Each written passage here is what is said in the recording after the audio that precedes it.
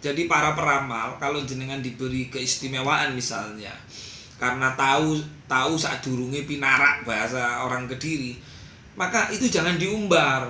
Ketika Anda dikasih firasat, dikasih anu, lalu jenengan menyampaikan itu riak namanya.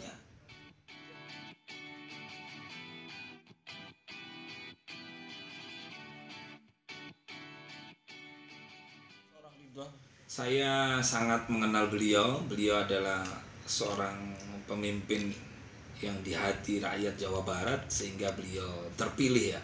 Termasuk orang-orang pilihan lah. Orang pilihan itu orang yang ditakdirkan Allah menjadi pemimpin, berarti itu, itu orang pilihan yang sekarang sedang mendapat ujian. Jadi catat ya, ujian bukan adab. Jadi kalau ada di medsos mengatakan ini adab, itu keliru besar itu. Itu orang yang nggak beriman orang yang nggak berilmu mengatakan ketika orang kena musibah lalu dikatakan ada nggak ada Allah mengazab manusia itu nggak ada. Nggak ada ujian. Apalagi bang Kamil ini kategori orang yang itakullah orang yang bertakwa kepada Allah. Nah mudah-mudahan mari kita sebagai warga Indonesia apalagi sebagai sesama anak bangsa mari kita doakan saja lah nggak usah ngomong yang aneh-aneh termasuk para peramal-peramal itu. Pansos keurusannya. Orang sedang berduka coba nggak bisa bayangkan ya kalau itu menimpa anak saya deh keluarga kita misalnya. Terus mengalami uh, ujian seperti yang didapat oleh Bang Ridwan Kamil beserta istrinya sampai detik ini masih belum diketemukan coba apa nggak menjadi apa ya? Ya Allah itu karena keimanan Bang Ridwan Kamil dan istrinya sehingga sampai detik ini sampai nunggu di air coba. Mencari ke mana anak saya ini. Kan begitu? Itu gitu loh. Maka dari itu hanya doa dan doa yang harus uh, kita sampaikan. Kita mohon kepada Allah. Nah mudah-mudahan ini menjadi uh, hikmah ya bagi kita semua gitu. Gus, uh, sudah kontakkan belum dengan Pak Ridwan? Alhamdulillah, saya nggak nyangka ya, Bang Ridwan Kamil. Saya minta ke salah satu Pak Dir ya, Pak Dir di Polda Jawa Barat. Alhamdulillah saya diberi handphonenya Bang Ridwan Kamil karena kami mengikuti perkembangan berita demi berita itu kan. Uh, saya WA beliau mungkin saya juga pernah ketemu beliau tapi kan kadang-kadang kan orang itu kan lupa. Iya. nah itu saya WA kirim suara dan saya sampaikan ijazah yang pernah diberikan oleh Kiai Haji Raden Azaim Ibrahimi cucunya Mbak Yai Said uh, As'ad Samsul Arifin pahlawan nasional. Beliau memberi ijazah kepada saya kan untuk selalu membaca Bismillahirrahmanirrahim di saat kita kesulitan gitu loh. Nah itu saya sampaikan ke Bang Ridwan Kamil. Ternyata beliau walaupun nggak balas langsung dapat tiga uh, jam atau empat jam ya.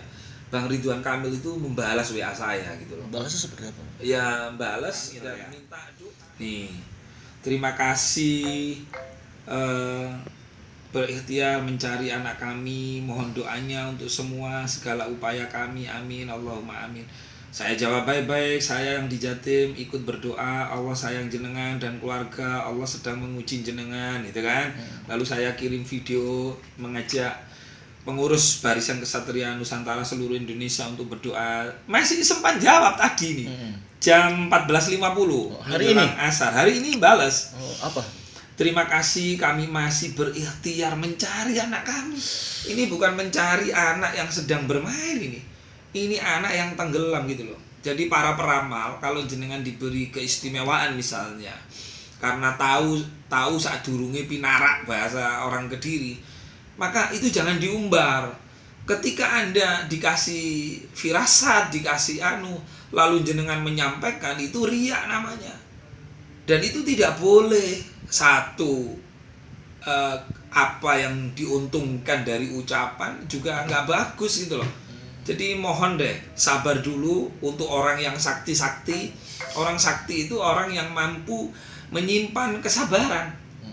Jadi kalau diberi kelebihan jangan sombong, kemudian menyampaikan diwawancarai wartawan begitu gampangnya.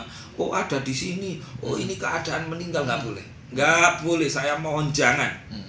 Cukup didoakan yang terbaik, Oh. karena semua ini adalah ketentuan dari Allah Subhanahu wa Ta'ala. Seperti hari ini Gus juga mendoakan barang Oh iya, Habib Lutfi. saya tadi sampai ke Habib Lutfi Al Atos eh, di Ben Hill ya. Saya bersama Yai Yusuf Mansur.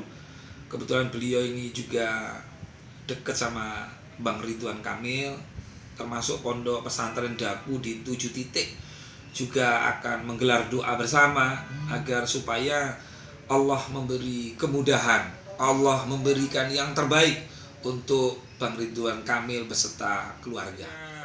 Eh, mohon maaf Bang Ridwan Kamil, kami seluruh warga masyarakat Indonesia hanya bisa doa dan doa serta ikhtiar sesuai kemampuan kami. Mudah-mudahan Allah mendengarkan doanya seluruh masyarakat Indonesia dan dunia. Dan semoga Bang Ridwan Kamil kuat, sabar,